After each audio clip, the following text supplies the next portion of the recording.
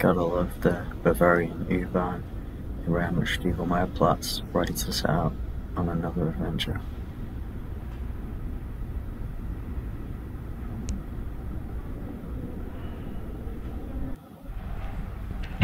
today's day 7. I Got up quite early this morning as you can see, it's misty. And today I'm heading down to the Nymphenburg Palace. It's an old Baroque palace from the days of the Electors of Bavaria. The Electors of Bavaria were a college of around nine princes who selected who was the head of the Holy Roman Empire uh, in the Middle Ages until about the 1800s. And this palace belonged to one of them, um, one of the electors of Bavaria, who eventually became the King of Bavaria after an alliance with the French. You can see from the scale of this place, it's absolutely massive. Extensive waterworks, a very wide front, I think it's even wider than the Palace of Versailles. Let's get a little closer. Yeah, you can really see the French influence here.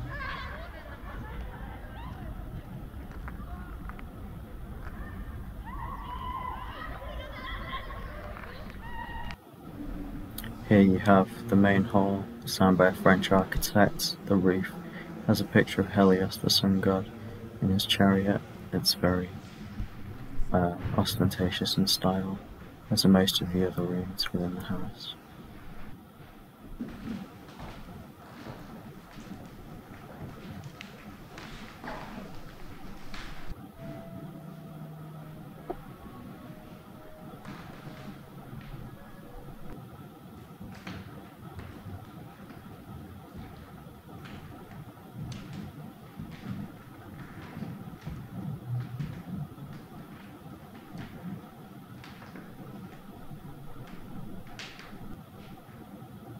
The lady over there um, managed to become relatively independent and invested a lot in real estate. She's one of the successful members of the family. Here I am in the Grand Gallery and you can see various pictures of how the house looked back in the day.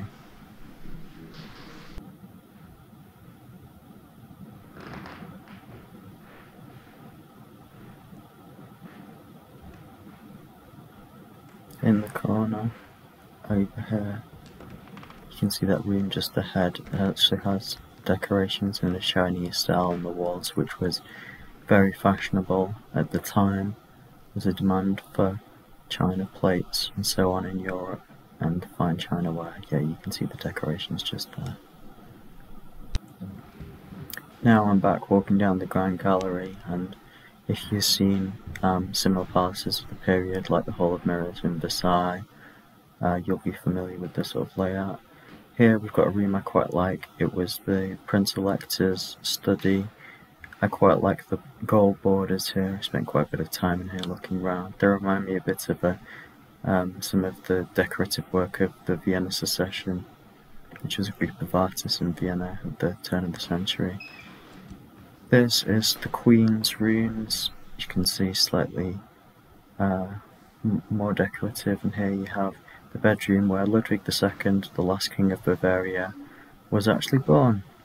He was responsible for making the famous Disney castle, which you see in, um, in the films Neuschwanstein. Now I'm back at the entrance. One last look at this glorious Baroque ceiling. Slightly too over the top for my taste, but um, it's been a, a good visit inside the building and I'm going to head out into the grounds.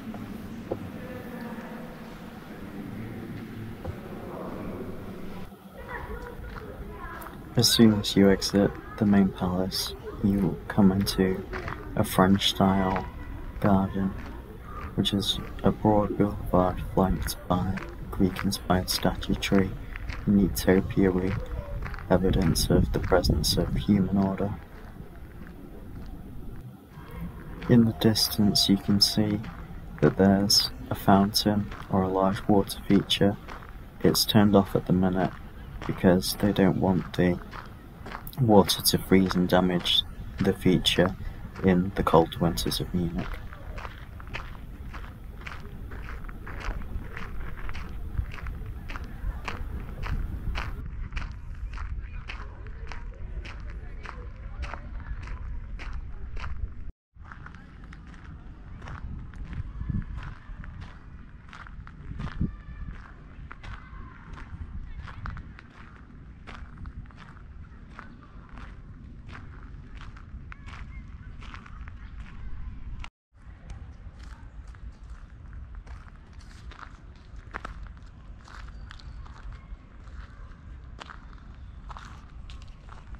So I'm now in the gardens of the Schloss Nymphenburg.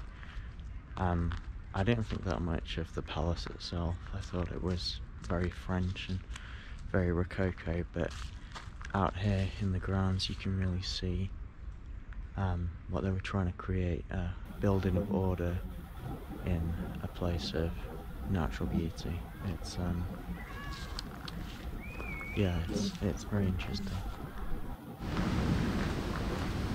Here I'm heading further into the English-inspired landscape gardens. These were created in the early 1800s and you can hear the roar of the waterfall in the distance.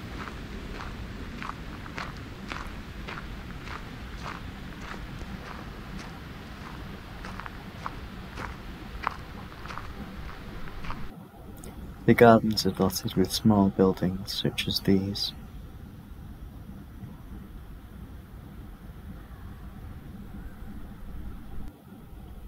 And this one here, the family's bathing house on the shores of one of the two Great Lakes.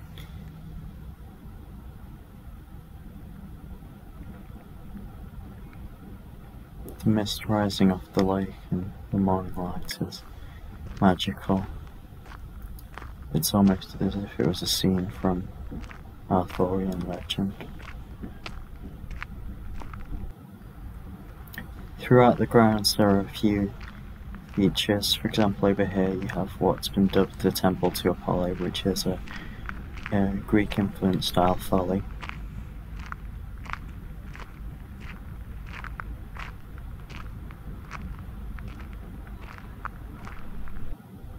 Inside it has a painted reef and you can imagine in the summer the royal family perhaps picking, picnicking here on the banks of the lake in the glorious sunshine.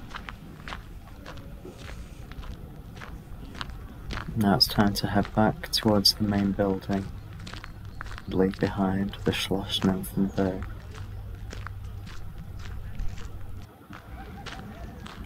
Just let's get one last shot of the glorious landscape gardens in the background. It's the trees, the colour, fire.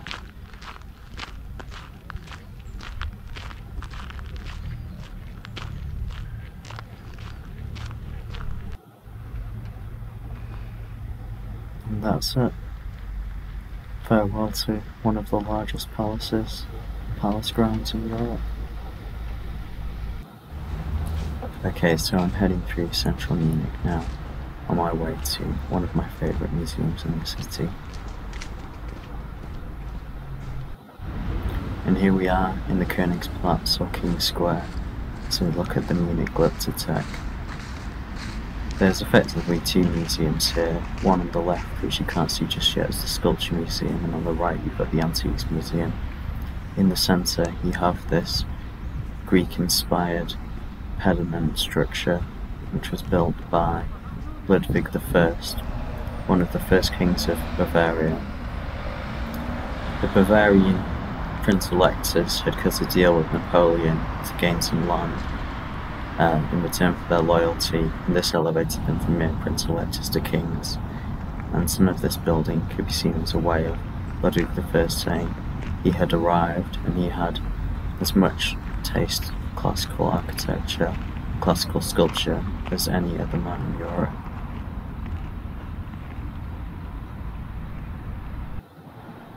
Here we are in the Glyptothek, there's a kouros, part of the antique art. Quite simple and not that interesting. And here at the other end of the scale we've got the Barberini Faun, one of the most ornate Hellenistic sculptures in this wonderful dome.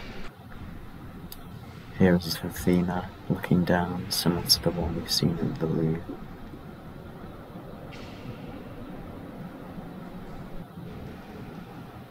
And here is the rest of the Greek gallery. There's a few fragments. They might look similar to ones you've seen before. Here is a Athenian funerary monument, I think. Similar to a modern gravestone. And here we have a statue of Irene, or peace, with Plutus, a child, which is wealth. And this was erected by the Athenians as a way of symbolizing how their peace led to great wealth. Here is another Greek statue. And here we've got another shot a bit closer up of the Heracles and the child that I showed before, or perhaps this is Silas with Dionysius. Here we have the temple pediment of Aegina, and this is the older part of the pediment in the classical Greek style.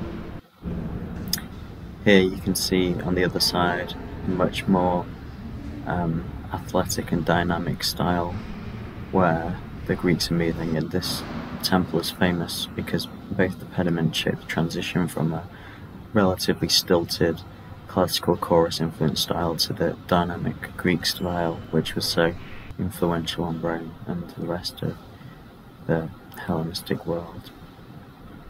Here we have a Roman sarcophagus. Not sure exactly what's on this side, but on the other side looks like a procession to have sacrifice a bull on the altar. Here's a Roman mosaic representing the god of time or eternity, Aeon, which is suitable for this room, which shows statues of the Roman emperors throughout the ages. Here you have Augustus, the first emperor. And over here, Marcus Aurelius, the philosopher emperor, recognizable by his big bushy beard. One of the rougher soldier emperors, perhaps Caracalla, from later in the empire's history. And finally, towards the very end of the empire, one of the Constantinian emperors by the look of it. Here we have a statue of Apollo. He's got eyeliner on. At first I thought it was a woman, but the label says Apollo, so we'll go with that. All under this glorious dome inspired by the Pantheon in Rome.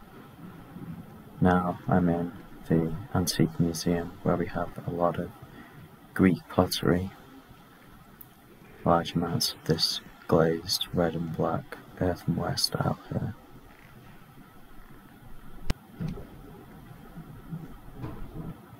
Some of the more unusual white style just before.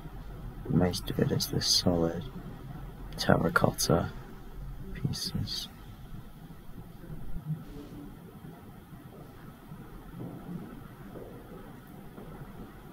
And here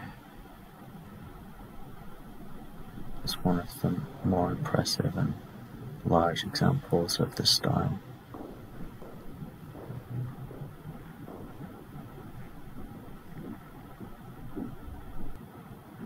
This is an ionic column found in the basement.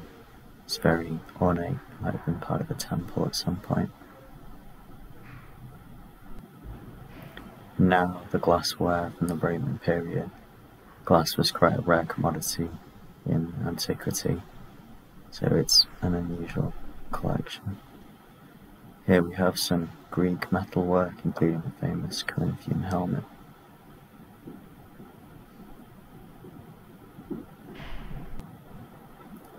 And finally, a large bronze jug to round off the normal metalwork section before the jewellery section. Here we have a leaf crown in gold, one of the best pieces in my opinion in the Antique Museum. An incredible level of craftsmanship to make leaves so fine. And here we have a more traditional golden diadem, symbol of kingship in the Hellenistic world. Here we have some gold Roman jewellery. And that's the end of my time in the Glyptothek.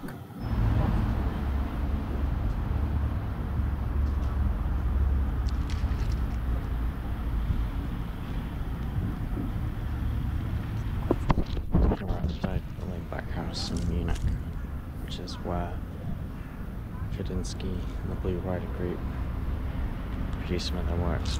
I'm gonna have a look inside. Just to be clear, the Blue Rider Group produced their work in Munich, not in this museum itself. The museum was set up by a famous painter who was rich enough to build a house, and after the war it became a refuge for many avant-garde works, like these pieces by the Blue Rider Group. You can see that there's a lot of bright, simple colours, and the painters included um, those such as Kandinsky and Macke. This is one of my favourite pieces by Macke, Zoological Gardens. The Blue Rider Group were very influenced by childlike paintings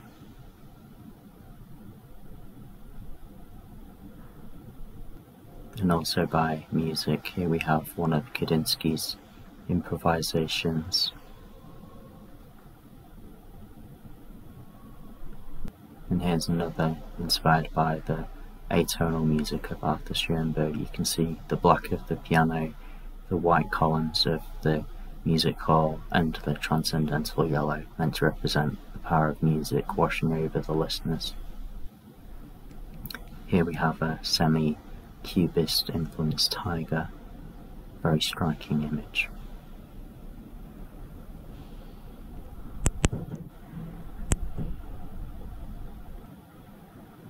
And here are a few more in the gallery. We've got the picture by Franz Marc known as The Blue Horse coming up in a couple of seconds.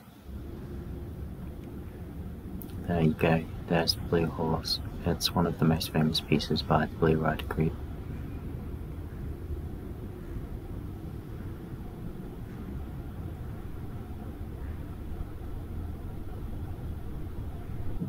And finally, this is one of Kandinsky's um, paintings again. I really like the colours. There's so much contrast between the blues and the reds. This now is in the basement. Here's some art from Sudan. It's a slightly unusual collection they have down here. Interesting Arabic calligraphy. And here we have some of the 19th century German painting. Very unusual, impressionistic style of flowers. Technically skilled painters, much more so than Kandinsky or any of the Blue Rider group. This one's by Franz Stuck of The Wild Hunt, and you've got great emotion on the faces of the riders. Here we have a garden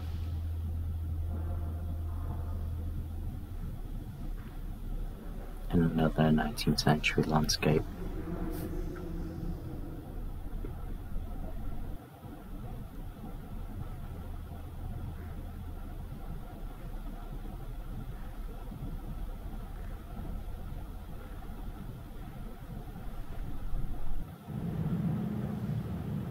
And this is a work by Kandinsky's girlfriend trees in, in his early period, and this is one by Kandinsky himself. You can see the bright colours are just starting to break through. Finally, here's the rooms of Lenbach, the painter who founded the museum in the first place. A very traditional German style, heavy medieval influence in his choice of decor for these rooms.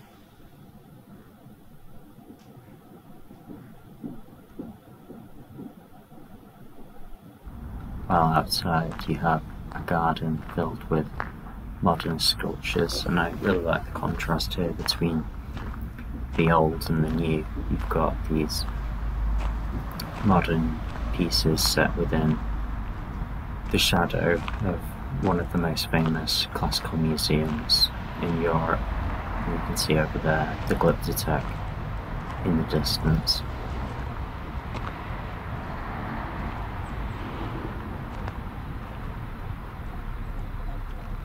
A really beautiful space to end my day.